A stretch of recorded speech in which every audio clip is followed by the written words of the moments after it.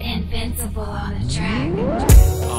Okay, yo, love me, you wanna work this thing out. Uh, I guess I'll see what the space was about.